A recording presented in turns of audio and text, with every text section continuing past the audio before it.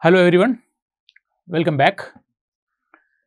So, in the last class we discussed about uh, localization of uh, mobile robots. We briefly talked about the importance of localization, the challenges involved in localization, how the sensors uh, uh properties affect the uh, localization and uh, the error propagation in the localization process. So, and also we uh, mentioned about the, the five step process involved in the map, map based localization. So, the first step in uh, localization of mobile robot is basically the odometric uh, odometry based localization where we use the encoders on the robot and then use the encoder data to find out how much the robot has moved over a period of time and then use that information to find out the new position and orientation of the robot. So, that is basically the uh, odometry uh, based uh, localization where we, we call it as the dead reckoning also where the position and uh, orientation information is collected from the sensors. So, that is the, the first step where you predict the predict the uh, position using odometry. And then of course, we need to go to the uh, sensors for the collection of information from outside the robot that is camera or some other uh, sensors will be used to uh, get the information from outside the uh, robot and then check whether that is matching with the map information already available with the robot. So, there is a, a matching phase where the observation from the sensor and the map database will be mapped and then based on the error in these two uh, information the robot position will be recalculated and you will be getting a, an updated position of the robot. So, this is the way how we go for the map based localization. So, the first step in map based localization is basically the odometry based prediction of the position of the robots. And I briefly mentioned about how we do this in the uh, mobile robot. So, how we use the uh, odometry based information to get the new position of the robots. So, I will just um, uh, explain it once again. So, we have the, the current position of the robot as P which is xy theta. So, we put this as the current position of the robot xy theta and then we assume that the robot is moving and then it reaches the next position we call this the P dash which is basically P plus delta x delta y delta theta. So, the robot will be moving in xy plane and there will be an angular uh, uh, position angular position change also which will be given as delta theta. So, this is the the normal uh, process especially for a when we consider it as a, a two wheel robot with a differential uh, drive. Now, we are estimating the robot position based on the information coming from the sensors. So, we have these uh, two encoders which actually measures the distance traveled by the wheels. So, assuming that it is moving by omega 1 and omega 2, and we can say that it travels delta S R and delta SL that is the left and right uh, wheels are traveling distances delta SR and delta SL in a period of delta T then we can say that that will actually lead to delta x and delta y delta theta in the Cartesian uh, space. So, how much will be uh, sorry in the uh, robot frame we can say that it is x y uh, uh, in theta with respect to the frame of the robot. So, now what happens is that we are uh, estimating the position x, y and theta. In the new position we call it as x dash, y dash and theta dash. We are estimating this as a function of the previous position x, y, theta because x, y, theta plus delta x, delta y, delta theta. And then this uh, previous position is x, y, theta and then we have a motion of delta SR and delta SL. So, the new position x dot x, x dash y dash theta dash is actually a function of the previous position x y theta and the movement of the robot, the wheel uh, displacement delta SR and delta SL. So, if we know that the, the new position is related to or depending on this and therefore, if there is any error in this x y the previous position and the error in any error in the delta SR and delta SL that will actually lead to an error in the estimate of new position also. So, this is what we need to estimate how much will be the error in the new position when there is an error in delta SR delta SL as well as the previous position estimate also. So, we will see how can we actually generate an error model for this particular robot, differential drive robot based on the uh, information that we collect from the encoder. So, that is what we are going to do in this exercise. So, we can write this delta x based on the kinematics of the uh, differential drive robots. We will be able to write that delta x is delta s cos theta plus delta theta by 2, delta y is delta s sin theta plus delta theta by 2 and delta theta is delta sr minus delta sl by b where b is the distance between the two wheels. And uh, we will define delta s as delta sr plus delta sl by 2 or the average uh, distance traveled by the uh, wheel. Now, we can see that uh, the p dash as I mentioned is a function of x y theta and delta sr and delta sl. Okay. And this function can be written as this way. So, the function f is actually this one. So, this is the function f x y theta plus delta sr by delta sl by 2 cos theta plus delta sr minus delta sl by 2b. So, that is basically the uh, distance I mean we can write this delta uh, x as delta s cos theta plus delta theta by 2 that will be written like this. Similarly, delta y is this and delta theta is this. So, this is the function f. So, we now write it as y is a function of this or we can write it as p dash is a function of p and delta sr delta sl.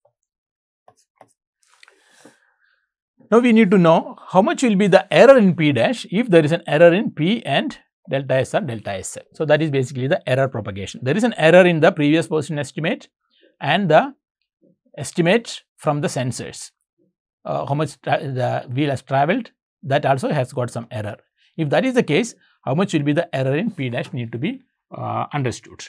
So, we can actually do this by looking at the error propagation law that we discussed in the previous class. So, the error pro propagation law says that if y is equal to f of x, then we can find out the error in y or the covariance in y can be written as fx cx fx transpose where cx is the covariance in the measured the previous one f, f of x and uh, cy is the covariance of the new value y is, y is equal to f of x. So, x has got an error cx then y will be having an error cy and that is related through fx cy f, fx transpose where fx is the Jacobian which is defined by this. So, it will take the partial derivative of the function with respect to the variable x you will be getting the uh, Jacobian. So, this was this is the error propagation law. Now, we can use the same error propagation law and then find out what will be the error in the position of the new position estimate of the robots when we know the previous position and the measurement from the encoders. Okay, so for that we assume that we know a few things. That is so we have this p. So p is given as p sorry p dash is given as p plus delta x delta y delta z. So this is the now we assume that we know the covariance of the sensor. So we know that the sensor has got some error and we model that error and we assume that that error is already known or the how much error that the sensor will be having is known. Is again a, a, a not a uh, what you call uh, predicted one. It's more like a, a random uh, error. So we model this as a, probability function and then say that the covariance the sensor covariance sigma delta so we'll put it as sigma delta we'll write that it is known and it is actually depending on delta SR and delta SL. So, this can be written as a, a covariance matrix can be given as KR delta SR, the modulus of delta SR 0, 0 KL delta SL. So, the assume that this KR and KL are known for the sensor. So, how much will be the error that the sensor can give for right and left is given by this KR and KL a coefficient and that multiplied by the actual travel distance will be the error in that uh, sensor. So, this is what actually we assume that we know this. The sensor, since we are choosing a, a non-sensor, we assume that we have this information.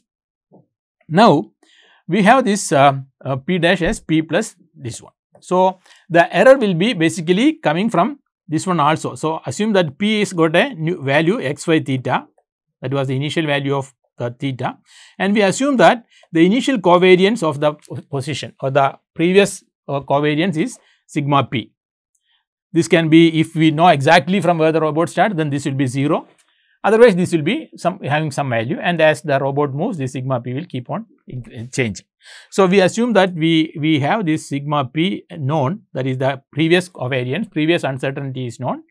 And the uncertainty in the sensor is known then we can write this error propagation model as like this that is the the new covariance of p p dash that is the covariance in the estimated position which we call as sigma p dash can be obtained as del f sigma p del f transpose plus del del RL delta RL sigma delta del delta RL F transpose. So, this is basically the Jacobian. So, we have this Jacobian J sigma P J transpose this is for the position and then we have delta RL sigma delta and uh, J delta RL transpose. So, this is the covariance.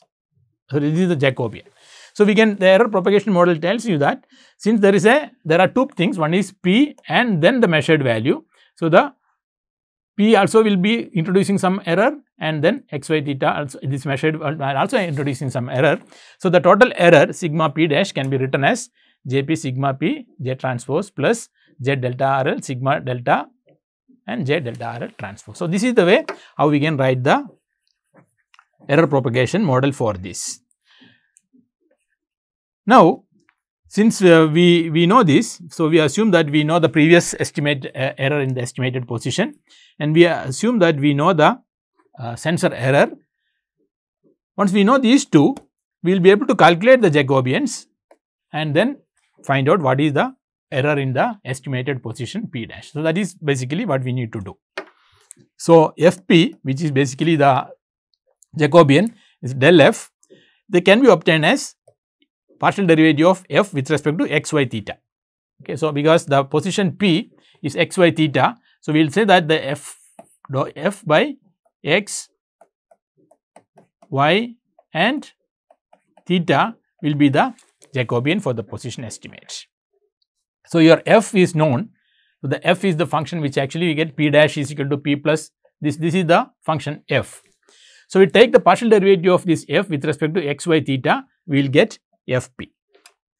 Similarly, if you take the partial derivative of f with respect to delta r and sorry delta sr and delta sl, we will be getting the Jacobian for the corresponding to this also. So, this is the way we get these two Jacobians and then based on using these two Jacobians, we will be calculating the covariance model of the position estimate or how much will be the error in the estimated position. So, that is what we do in this.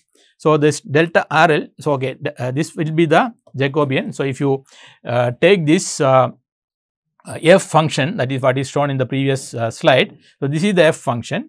So, you take the partial derivative of this with respect to x because this is x plus delta SR delta SL by 2 cos theta plus delta SR minus delta by 2b. So, partial derivative of f with respect to x will be this will be 1 and then you will not be having anything for the y then x x will be obtained then the f by y you can obtain obtain and uh, theta also you can obtain.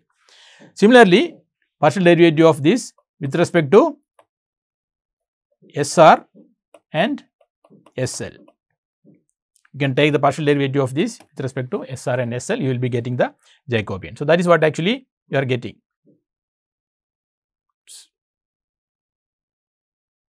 Yeah.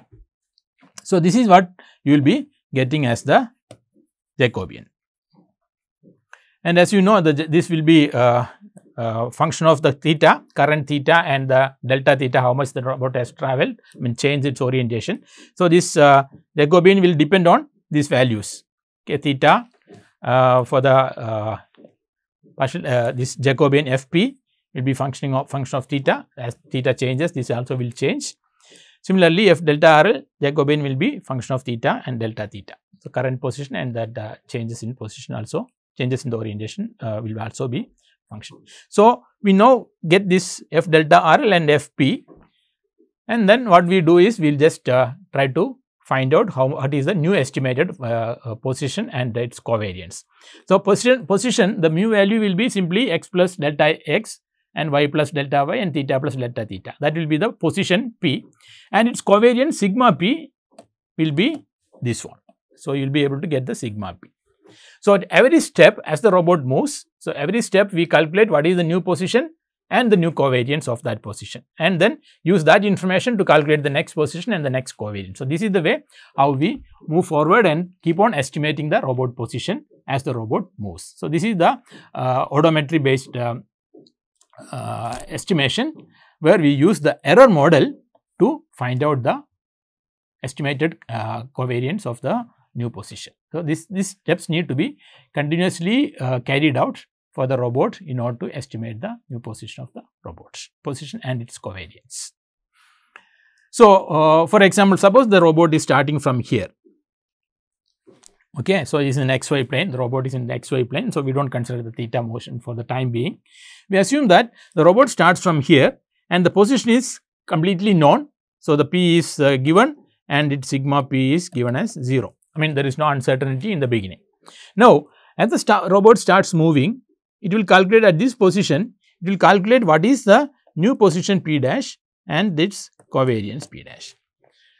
So, as the robot has moved, then there was an uncertainty in the sensor measurement, there will be small uncertainty. So, this sigma p dash will not be equal to 0 now because of the sensor error. And we can actually represent that like a, I mean, this is it's a small uh, ellipse over here. Now, as the robot moves, this uncertainty, the covariance can actually be represented using this ellipse. So, you can see that the uncertainty will keep increasing. The ellipse size increases because the covariance increases or the, the uncertainty is increasing. And after some time, you will see that the uncertainty is very high. So, the robot will not be knowing exactly where it is. It says that okay, it can be anywhere in this ellipse. The position of the robot could be anywhere within this ellipse, but it has actually moved in a straight line. It could be anywhere here. So, that much of uncertainty will be there. And as the robot moves, it is only for a short duration you will see that it and as it moves after some time you will see that the uncertainty will be too high and uh, within the map itself you will see that the robot is completely uncertain about its position and therefore, it there is no, no, no more uh, a meaningful uh, localization can be done if you are using only the odometry. For short duration, yes, we can actually get some kind of an estimate, but for a long duration, you will see that it actually goes completely uncertain and uh, the localization fails. So, this is the problem with um, odometry. So, this uh, shows that uh, how we can use the odometric information to estimate the position using the uh, uncertainty measurements and uh, using the error propagation model. So, that is uh, one uh, simple example to show that how odometry can be used for localizing a robot and what problems we face if we are simply uh, doing it only using odometry.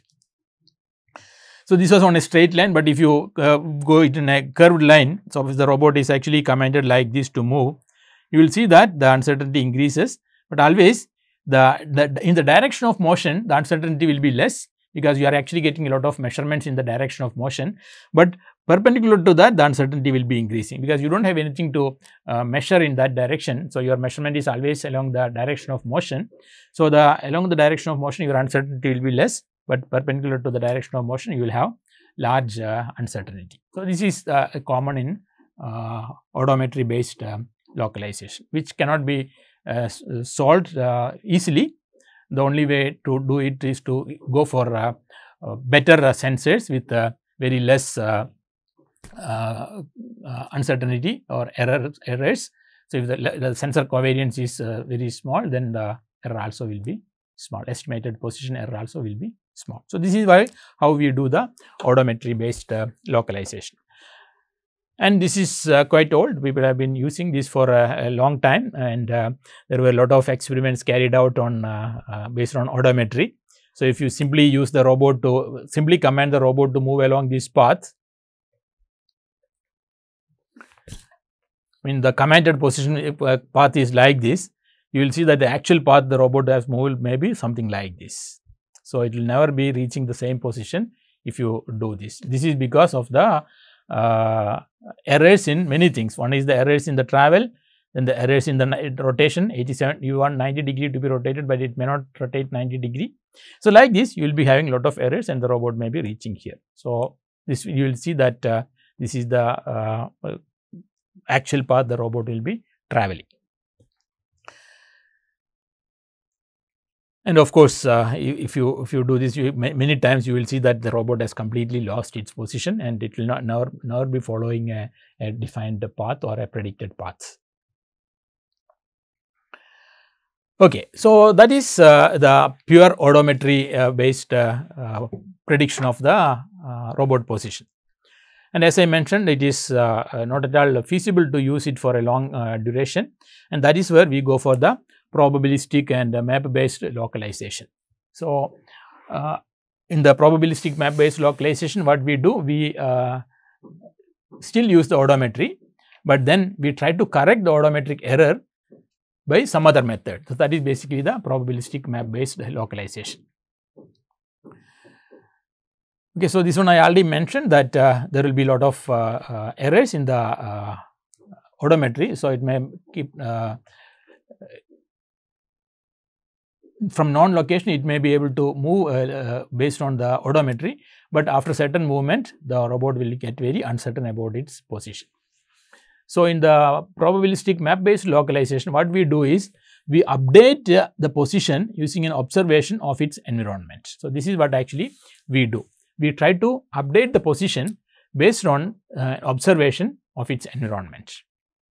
As I mentioned earlier, so, we use a camera or some other uh, sensor to observe the surroundings of the uh, robot and then use that information along with the map information and using that information we try to update the robot position. So, that is basically the map based uh, localization.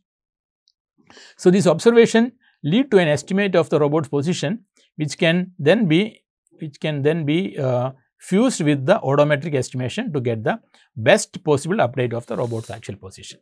So, what we do, we will uh, fuse these two information. One is the information collected from the odometry and the other one is the information collected from the sensors and then we will fuse these two to get a better estimate of the robot. So, we use some kind of a fusion algorithm uh, to get the better estimate of the ro uh, robot position. So, that is basically the map based localization. So, we do not depend only on odometry, we use some other method also and then fuse these two and then reduce the error in the estimated position. So, at every stage we will try to reduce the error. So, when the error is actually going increasing like this uh, as I mentioned earlier.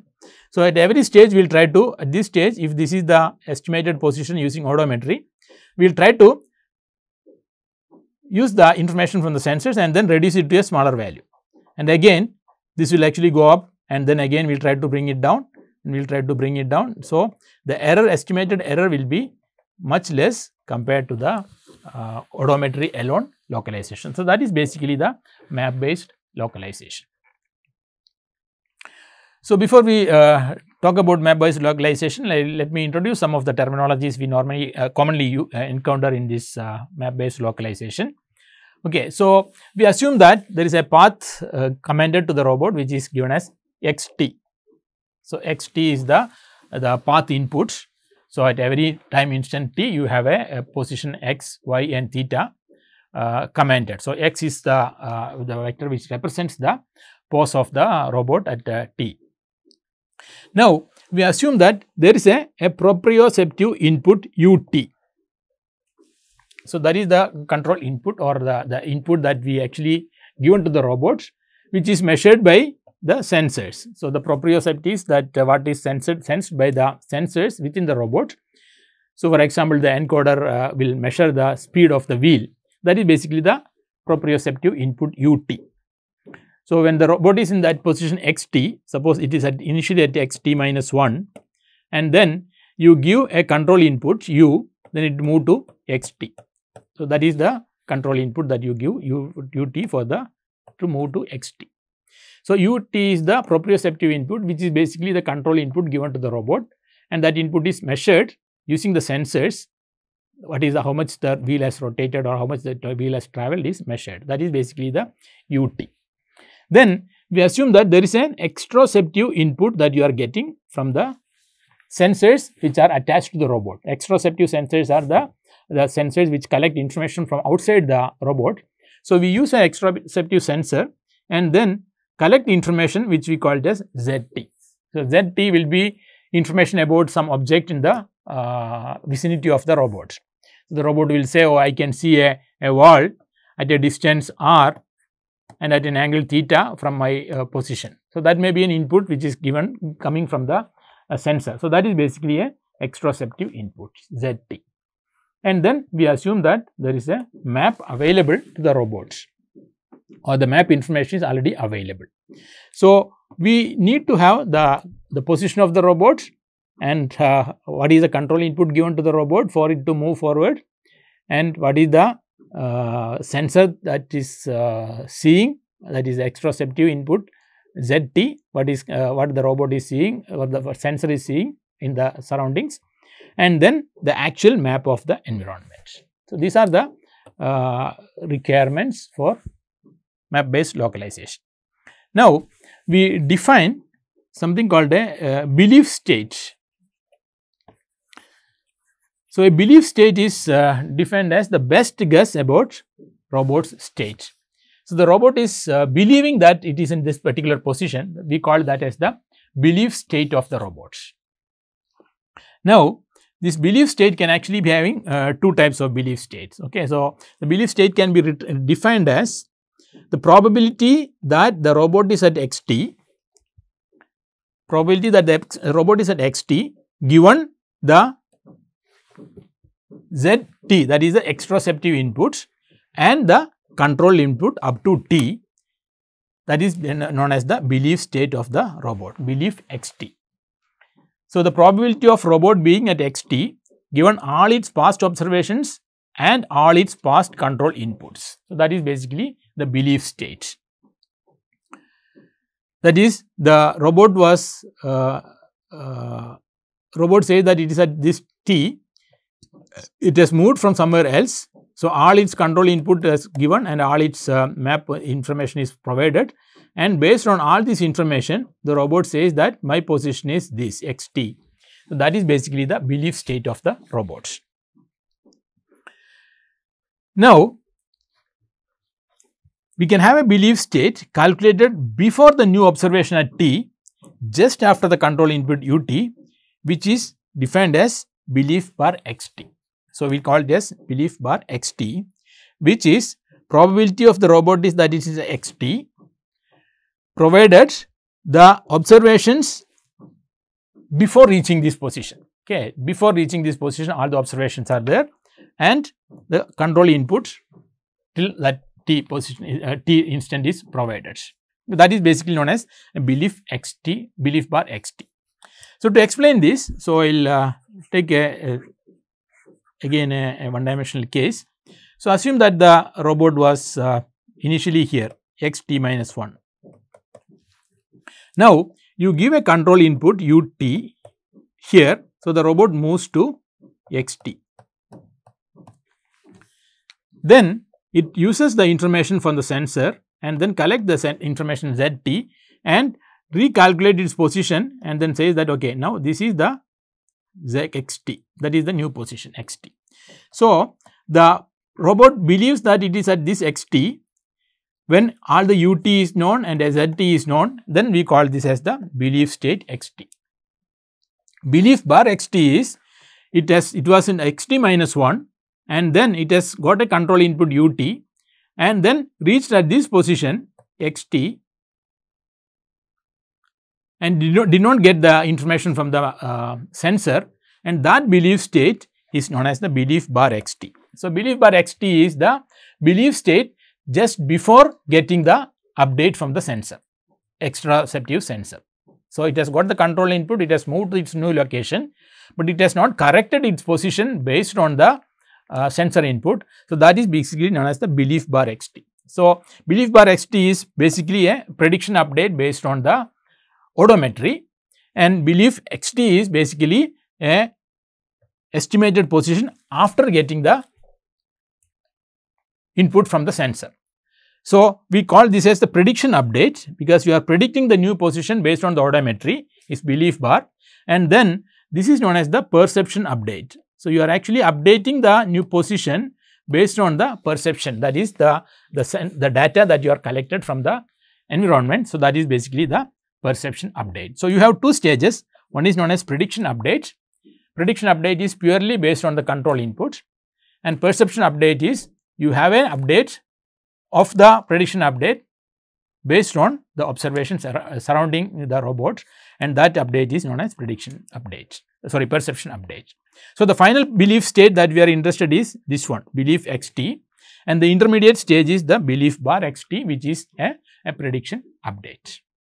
So, we will be having first a prediction update. So, the robot starts from a known position, it updates its position based on the prediction and then it updates its position once again based on the observation and finally you will get the new position estimate of the robot. So, it is not only the position, the its uh, covariance also will be estimated as the robot moves. So, you will be having a prediction update and perception update at every stage for the robot to move forward and localize itself. So, this is what we do in the uh, map based localization. Okay, so you have the prediction update which we call it as an action update because you are actually commanding the robot to move that is the prediction update and then there is a perception update and this is based on the measurement that you make from the robots using the robot sensor. So, that is basically the measurement update or the perception update. Okay, so you have an action update and a, a perception update. So, uh, prior belief state and then it increases the uncertainty because uh, from the previous position. So, if you have the position like this, so this is the position P, we say there is a uncertainty sigma P also. Now, as the robot moves with the control input ut, it reaches the new position P dash and the uncertainty actually increased to sigma P dash because now because of the control input and the, the errors in the sensor, you will be having a, a large uncertainty. So, this uncertainty, large uncertainty will be reduced using the observation ZT and it will calculate a new position, we call this as new position estimated as using the sensor as P double dash and then we get a new covariance estimate also and this new covariance will be smaller than this covariance. So, that is the uh, uh, uh, advantage here. So, the perception update is basically the C that is that you are actually seeing using a sensor and then updating the information and that actually decreases the uncertainty because of this uh, updated belief states. So, your uh, perception update will reduce the uncertainty while action update will increase the uncertainty. So, this can be explained with a, a simple uh, diagram consider this is a, a, a, robot moving in a one dimensional space, I mean it is just moving in a straight line and uh, assume that uh, the robot does not know where it is, it is un, in, uh, initial uh, uh, position and uh, covariance is unknown.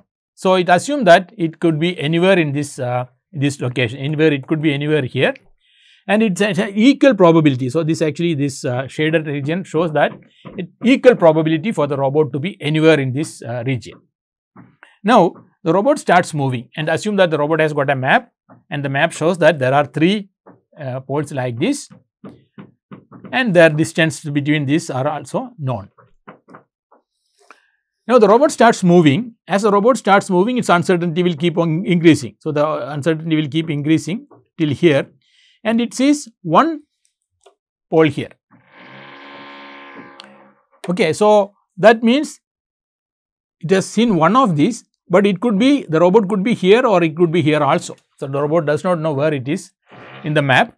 So, it says that okay I could be here or here or here. So, the uncertainty my probability that the robot, robot is here, here and here are much higher than any other place. So, the robot has got